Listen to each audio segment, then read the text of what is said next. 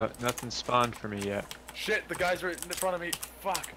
This is bad, guys. He's got a crossbow.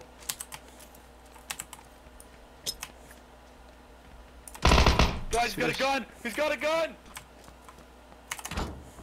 What the fuck happened? I was outside of the building and I got killed inside the building.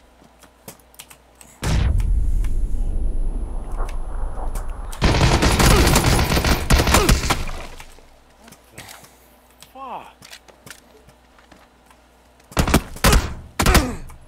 Damn it, I really thought I had him with those nades. Did I kill you with the nade?